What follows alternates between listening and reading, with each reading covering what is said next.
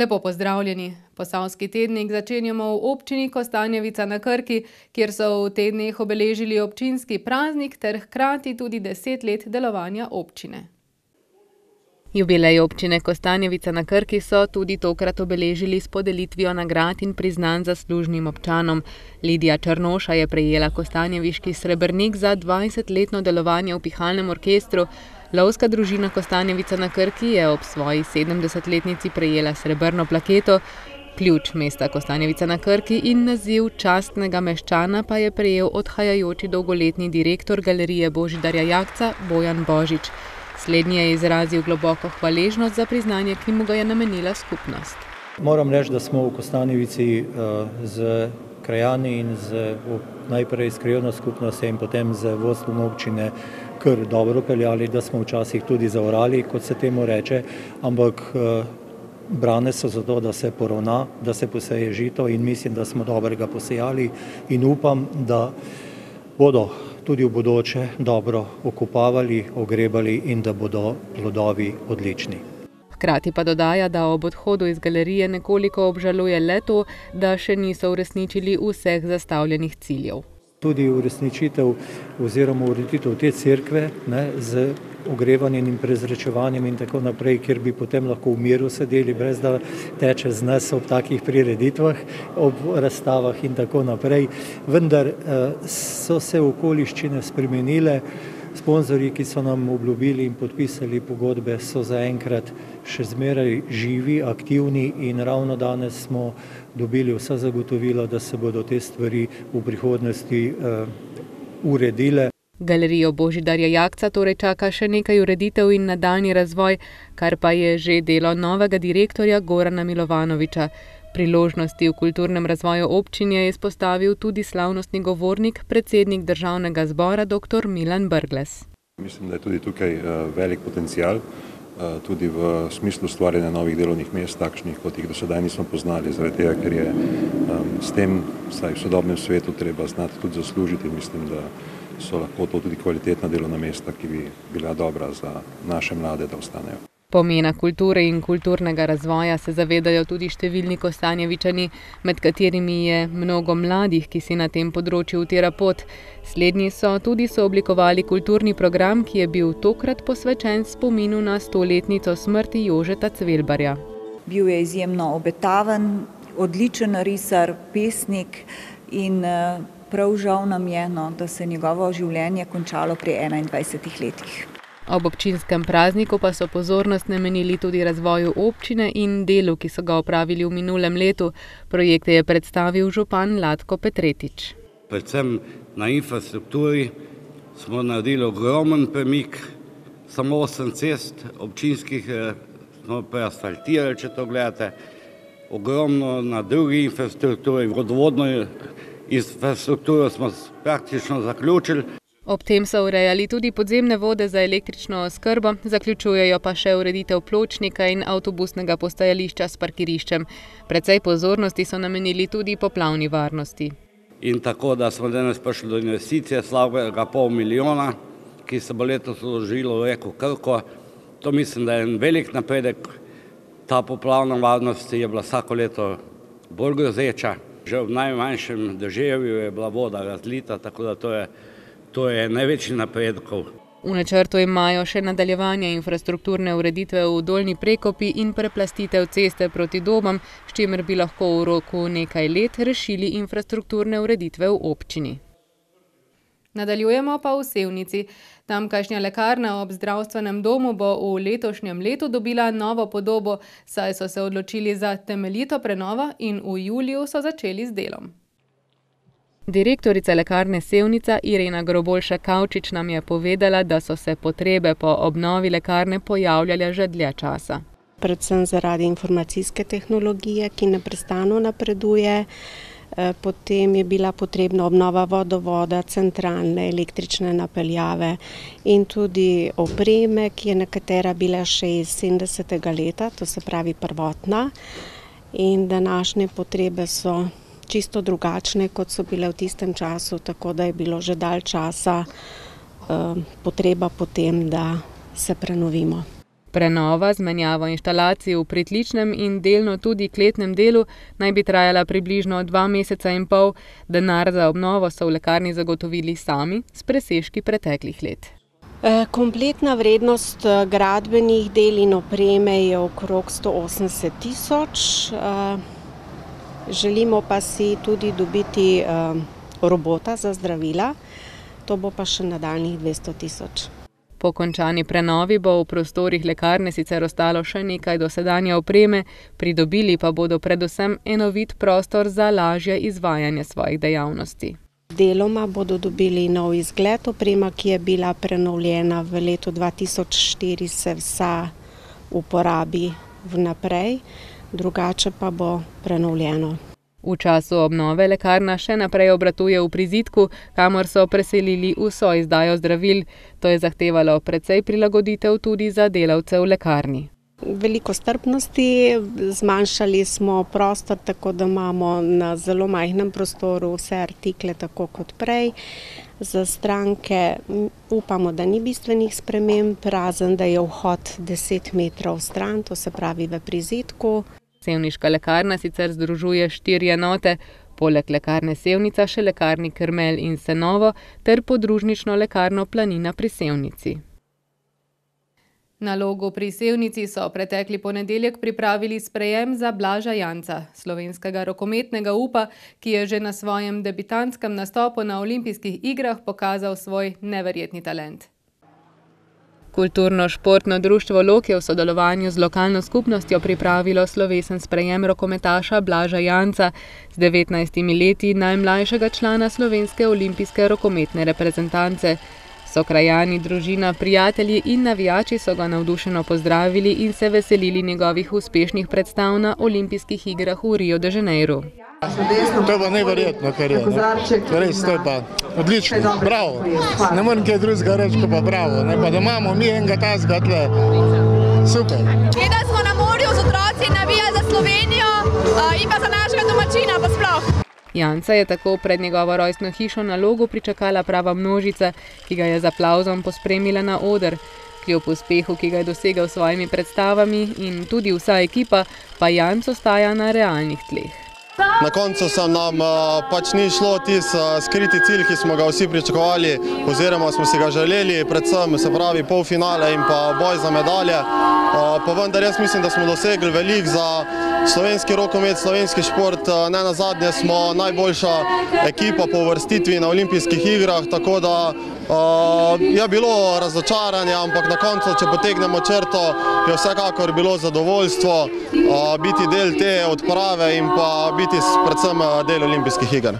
Blaž Janc je na olimpijadi pokazal ves svoj talent in kmalo so ga opazile oči svetovne javnosti, na slovenskem nivoju pa ga že primerjajo s Kopitarjem, Dragičem ali Zahovičem. Zanj se že zanimajo tudi veliki evropski klubi. Pa vsekakor jaz na svoje predstave sem lahko vesel in ponosen, to sem si lahko uh, le želel. Uh, najprej je bilo seveda ob sami uvrstitvi na olimpijsko, uh, na olimpijsko ekipo veliko že narejenega, potem pa seveda ta dokazovanja na olimpijskih igrah, tako da uh, ne bi rad sam sebe izpostavljal, kot sem že povedal v nekih intervjujih, bi raj videl, da bi se uvrstil v polfinale, kot pa da, jaz, kot pa da sem najboljši streljec, ampak uh, vse je jaz sem ponosen na to, kar sem pokazal na olimpijskih igrah. To je nek začetek moje športne poti, ki mi bo lahko pomagal in gremo dalje se boriti in delati v tej smeri. O ponudbah iz tujine pa je bil kratek. Ja, jaz tako pravim, da iz celja grem samo v prvih pet evropskih klubov, tako da druga me ne zanima in če bo prišla ta ponudba, potem bo verjetno treba iti v tujino in izkušiti tudi to izkušnjo. O Blažu Jancu in začetkih njegove rokometne poti pa je spregovoril tudi njegov prvi rokometni trener Bojan Drnovšek, ki je povedal, da je Blaž že od začetka svoje športne poti kazal velik talent. Za Blažovo selekcijo smo v devetem razredu usvojili naslov šolskega državnega prvaka, kar je za šolo, kakršna je osnovna šola Boštanj, zelo velik uspeh. Eh, sicer pa, če imaš na razpolago takšne talente, kot je bil Blaž in še ostali fantje, je uspeh kar nekako pričakovan.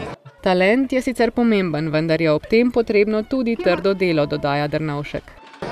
in mislim, da ravno to je pri Blažu bilo odločilno, da je v naslednjih letih, ko je pristopil v pivovarno celje, da je ravno s tem svojim entuzijazmom, res z resnim pristopom dosegel to, kar je dosegel, da je postal eden tako dobrih igralcev, kot je. Ob delu in velikem talentu tudi uspeh ni izostal, kar je odmevalo tudi v domačem kraju. Poleg sokrajanov, družine in navijačev so mu čestitali tudi predstavniki sponzorjev rokometne zveze in sevniški župan, ki mu je ob tej priložnosti podelil tudi listino občine Sevnica. Temeljni nalogi vsakega lastnika psa, ki želi imeti vzgojenega in prijaznega štirinožnega prijatelja, sta socializacija in vzgoja. Slednji sta predvsem pomembni v urbanih središčih in povsod, kjer je veliko ljudi in drugih živali.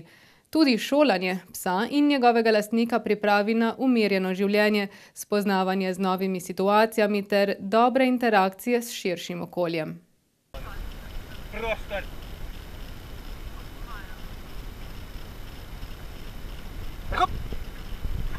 V društvu Popasje so se med prvimi v Sloveniji lotili tako imenovanega urbanega šolanja psov. Gre za šolanje psov vseh starosti, ki potrebujejo socializacijo v mestnem okolju. Osnove in teoretično znanje najprej osvojijo na vadišču, kjer preživijo prve ure šolanja. Pač učimo pse prvo sedi, prostor, fuj to, kako umiriti psa, kako se sprehajati s psom, da te ne vleče, da, kako dobiti pozornost psa, da te dejansko lahko funkcionira z njim. No. Dosti pomembna stvar je, kako izhod iz avta narediti. Ne pomeni, da kot odpremo vrata, da pes ne zleti iz avta, ampak počaka, nas pogleda, če lahko gre, pa ga povabimo ven. Po uvodnih urah se psi s svojimi lastniki prestavijo v mesto oziroma tja, kjer je veliko ljudi in kjer se srečajo z dejanskimi situacijami. Danes smo delali v bistvu nekakšno šolo recimo v urbanem okolju. Um, delali smo, da se psi ne smejo premakniti, ne glede na dejavnike, ki jih recimo delamo. Recimo, vem, podajamo žogo, mečemo žogo, mečemo igrače. Um, dajemo hrano, se ne sme premakniti do tvojega povelja, oziroma do našega povelja, da razbremenimo psa, da prije po. Cilj je torej predvsem socializacija. Da se ne pobere, da se ne polula, pomarkira po mestu. Uh, pa ko grejo recimo otroci mimi, uh, tako če slučajno psa rok na malo z roko, da ne odreagira. Imeli smo tle par primerov, če ne bi tresirali psa, ki so bili agresivni psi, bi verjetno ugriznil otroka. No. Tako pa se pes nekako zadrži, no, če že agresiv. V sklopu teh naših tečajev imamo teoretično predavanje, potem obiščemo veterinarja, kjer se srečamo z navajanjem psa na boks, na nagobčnik, potem raznimi dotiki, da se pes recimo spozna z veterinarjem, z veterinarsko mizo. Prav tako pa potem z nadaljevalnim tečajem obiščemo recimo živalske vrtove, potem gremo v predbožični Zagreb, malo v to gnečo. Prav tako pa gremo vsako leto tudi na um, kmetijo, kjer se pač psi poskušajo spoznati z raznimi domačimi živalmi. Po končanem šolanju sledi interni izpit, pasja prijateljstva pa se nadaljujejo s pikniki, pohodi in z različnimi delavnicami.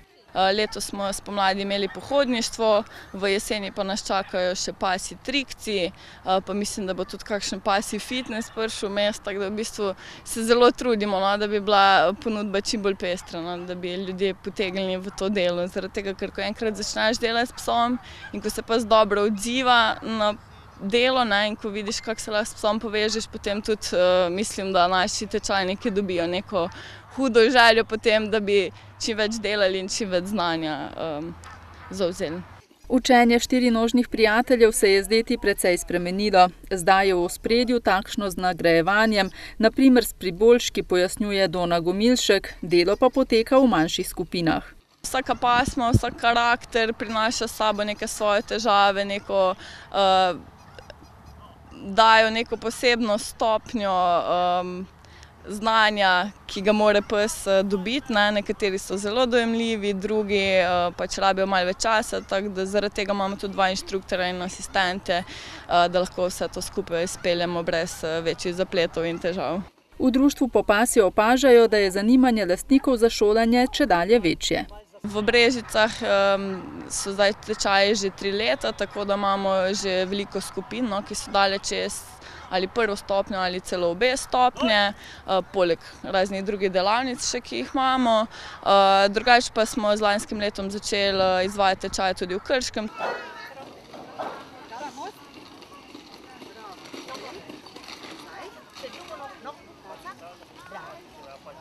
Šolanje je torej dober način spoznavanja psa, saj ta, tako psa kot lastnika, pripravi na umirjeno življenje, spoznavanje z novimi situacijami ter dobre interakcije s širšim okoljem. Sledi pa nekaj kratkih vesti. Žana Florjančič Baronik, dijakinja drugega letnika brežiške gimnazije, je dosegla drugo mesto na trinajsti geografski olimpijadi, največji doslej, na kateri je tekmovalo sto štiriinsedemdeset dijakov iz sedeminštiridesetih držav. Slovenijo so zastopali štirje dijaki, ki so zasedli dve drugi in dve tretji mesti, kar je za našo državo izjemen uspeh. Podjetniško-obrtni in kmetijski sejem Brežice se nezadržno približuje in organizator sejma, Zavod za podjetništvo, turizem in mladino Brežice, se lahko pohvali s polno zasedeno dvorano že v prvem prijavnem roku, tako da je nekaj prostora ostalo le še na zunanjih površinah. Sejem bo letos potekal sredi oktobra in predstavlja tradicionalno jesensko srečanje med obiskovalci in podjetniki.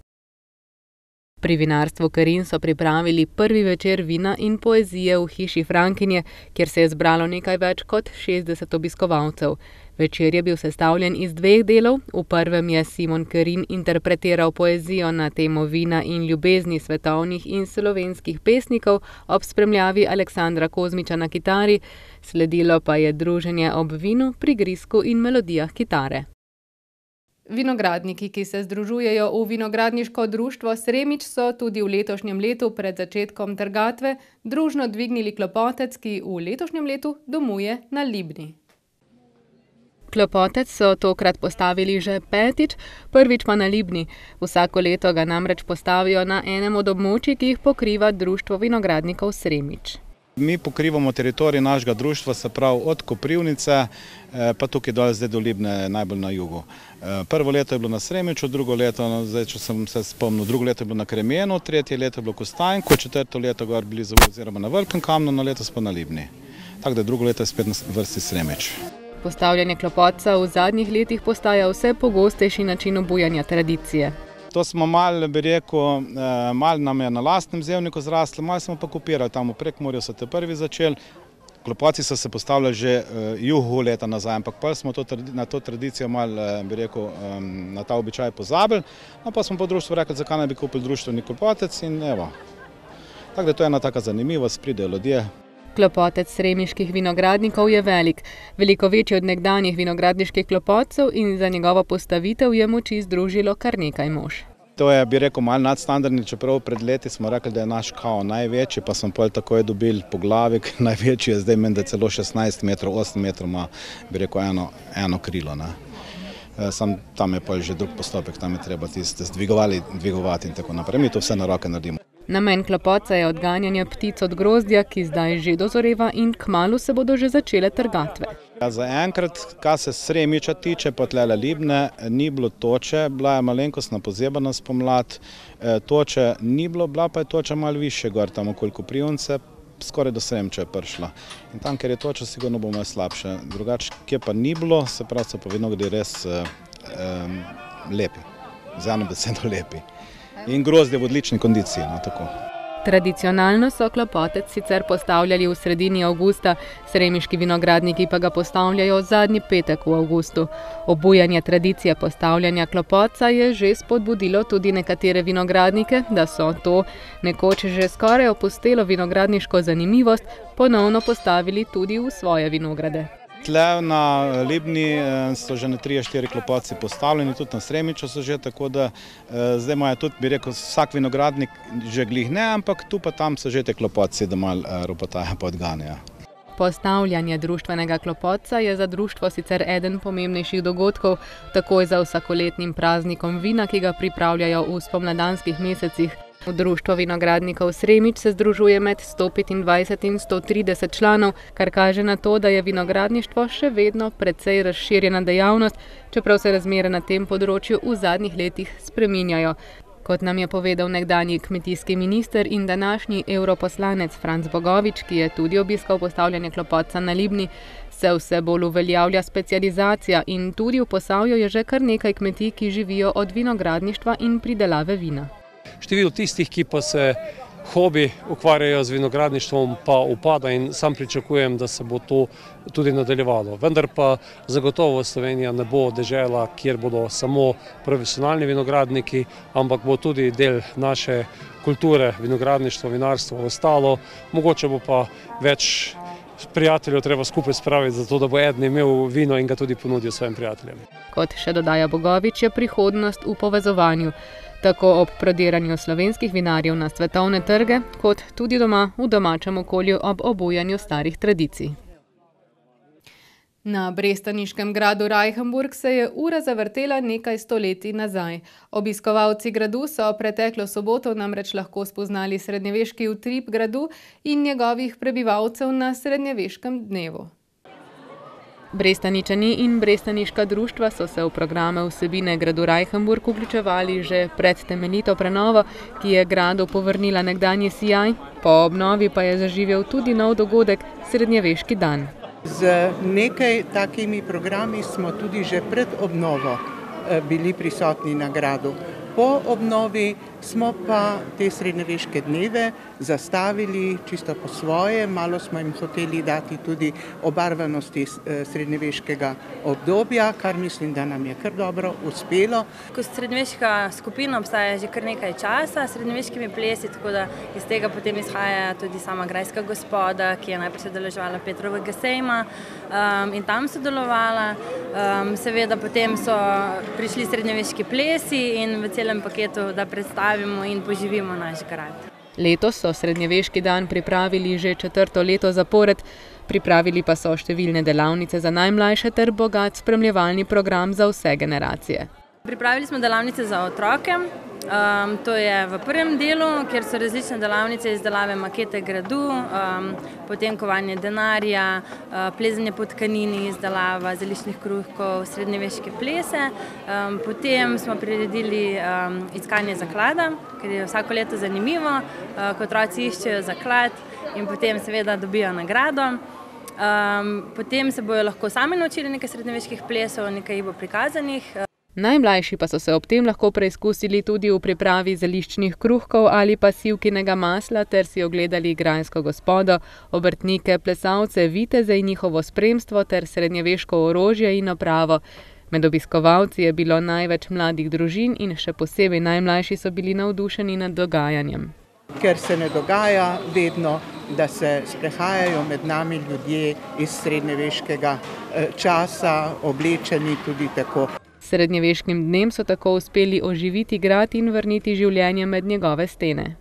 Uspelo nam je pa tudi povezati grad, grajske delavce in nas v en tak skupen program, kar nas pa še posebej veseli in to daje tudi eno možnost, da bomo lahko vztrajali tudi še naprej v teh programih. Pri organizaciji sta se povezali dve brestaniški društvi, kulturno in turistično. Gre za dve društvi, ki sta zelo povezani, potem pa še kar nekaj prostovoljcev, tako da je številka kar zelo lepa. Vsak nameni nekaj svojega časa, da uspe dogodek. Turistično društvo pa kulturno društvo smo včasih rečemo, da smo kar eno in isti. Kjer je pač treba, tam pomagamo in tam sodelujemo.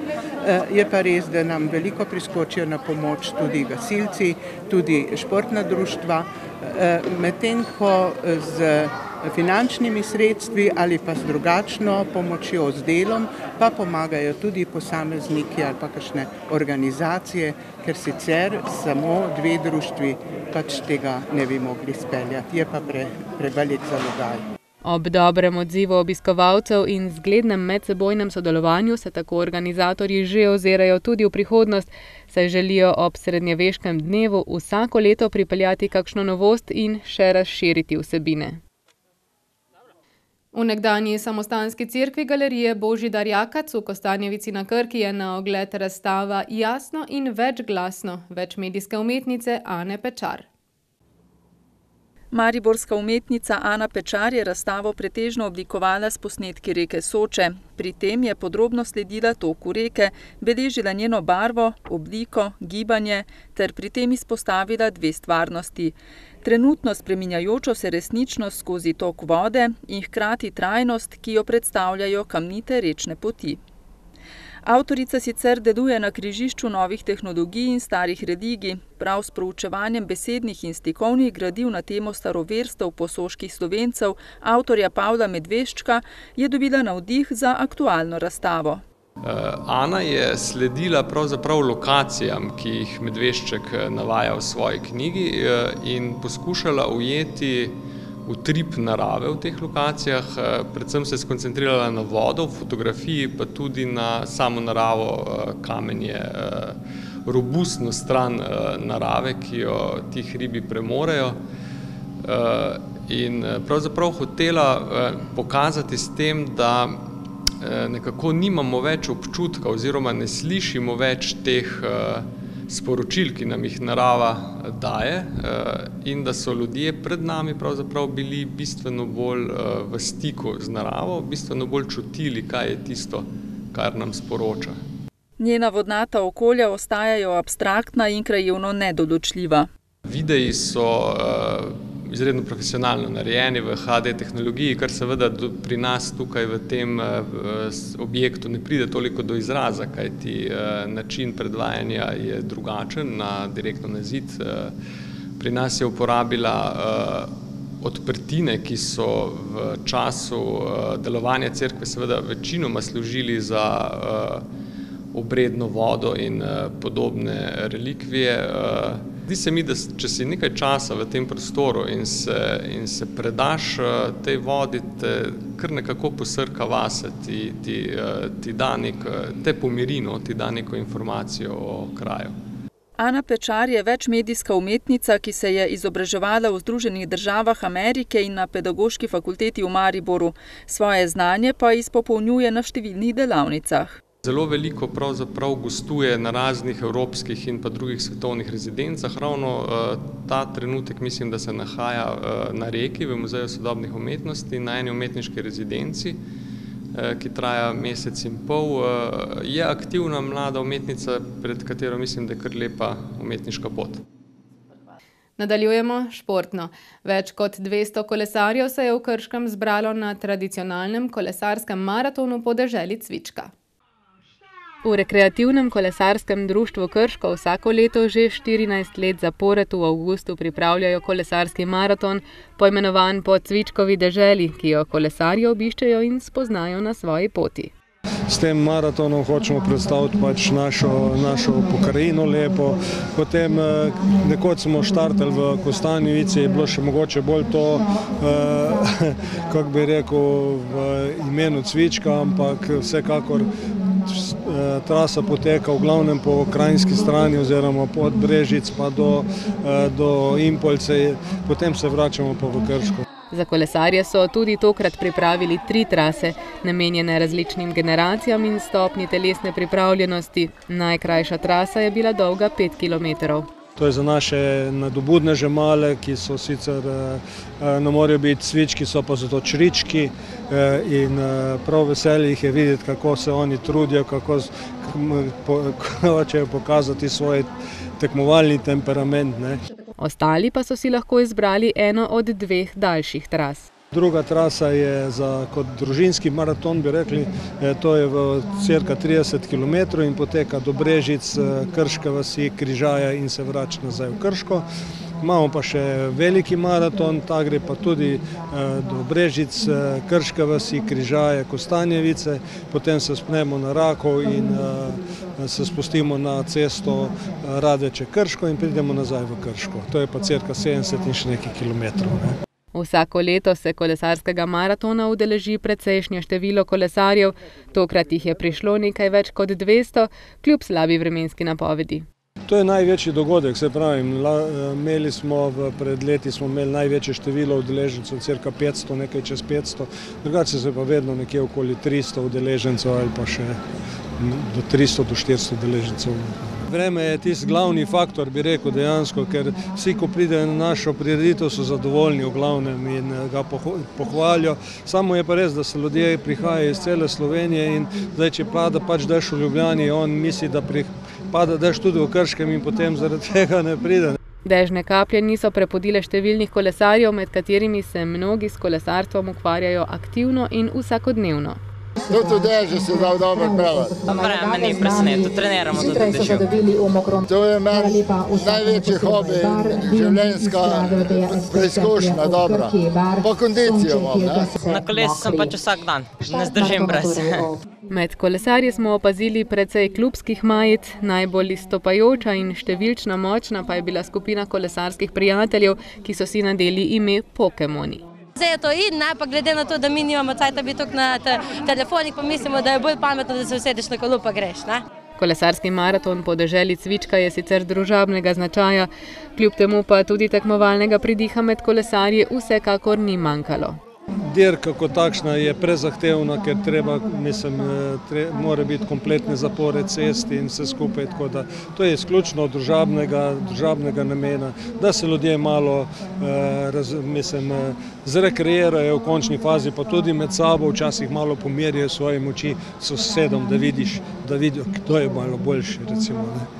V Krškem rekreativnem kolesarskem društvu, ki deluje več kot 20 let, se sicer združuje med 25 in 30 kolesarjev. Klub pa s svojimi člani poleg organizacije kolesarskega maratona obiskuje tudi druge kolesarske dogodke doma in v tujini.